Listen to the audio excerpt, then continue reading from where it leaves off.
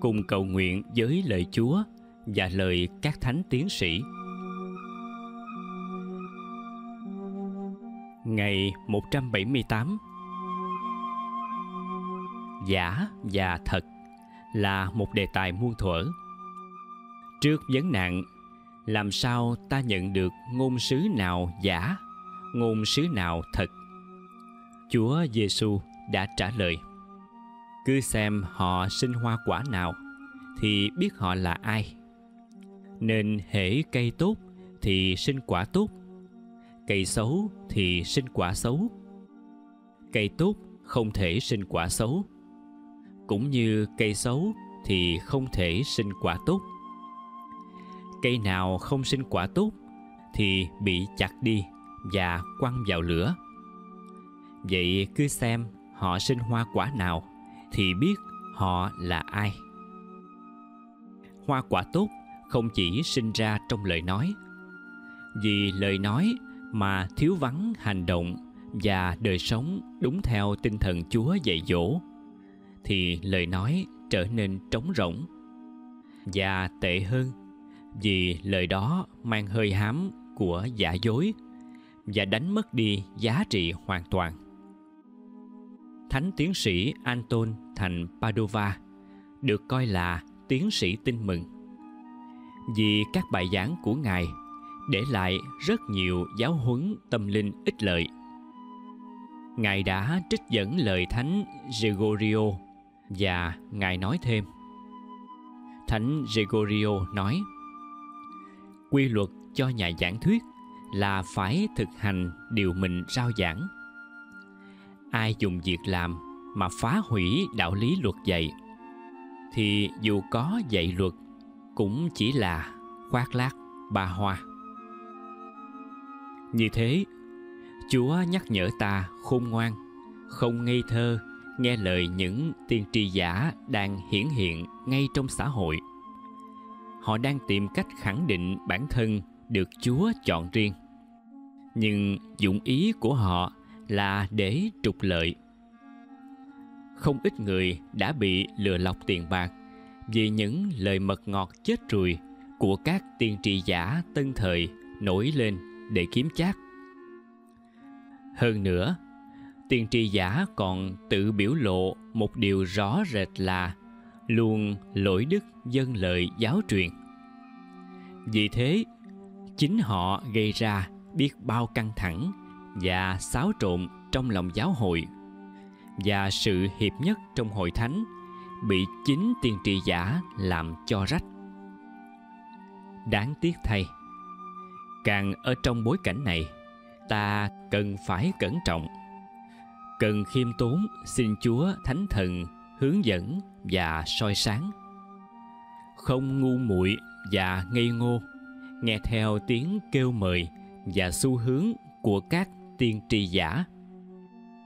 Cha ông chúng ta cũng để lại lời khuyên thật sâu xa. Mua cá thì phải xem mang, mua bầu xem cuốn mới toan khỏi lầm. Con người muốn biết thâm tâm, nhìn vào công việc chẳng lầm mảy may. Lạy chúa, xin ban cho chúng con một trái tim tỉnh táo, biết phân định để nhận ra tiên tri giả mà tránh xa và chỉ bước theo tiên tri thật là sứ giả Chúa sai đến trong tinh thần yêu thương và hiệp nhất để xây dựng nước Chúa và hữu ích cho các linh hồn. Cũng xin Chúa giúp chúng con biết sống thật trọn vẹn và ý nghĩa ba chức vụ tiên tri, tư tế và vương đế của Đức Kitô mà chúng con được đón nhận qua bí tích thánh tẩy. Lạy Thánh Anton thành Padova, xin cầu cho chúng con.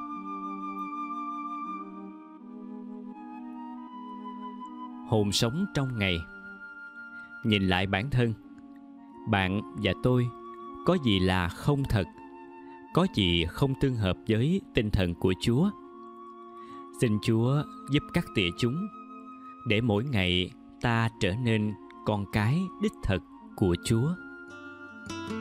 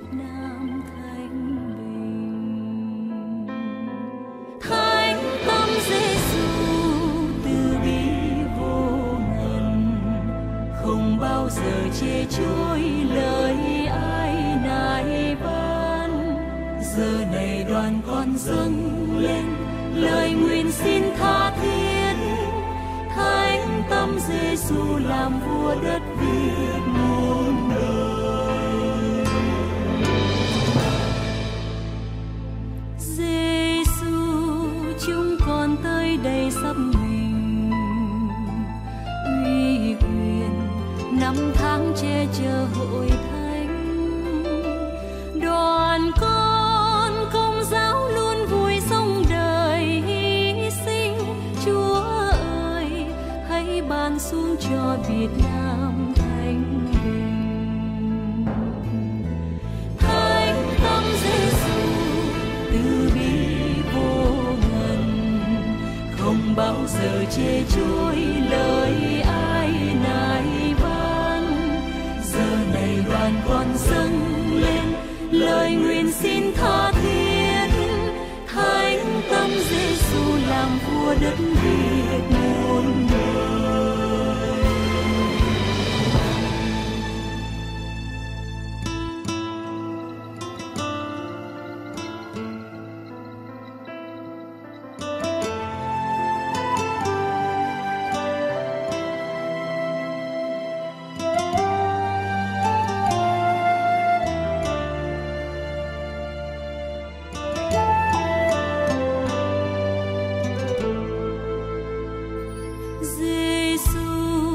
chúng con tới đây dâng mình.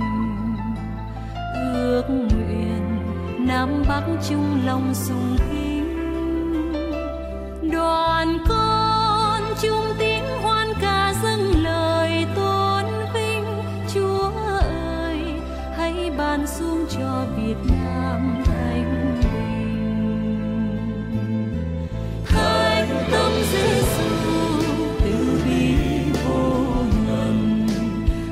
bao giờ chê trôi lời ai nài van. Giờ này đoàn con dâng lên, lời nguyện xin tha thiên thánh tâm Giêsu làm vua đất Việt muôn đời. Thánh tâm Giêsu từ bi vô ngần, không bao giờ chê trôi lời ai giờ này đoàn con dâng lên, lời nguyện xin tha thiên thánh tâm Giêsu làm vua đất việt.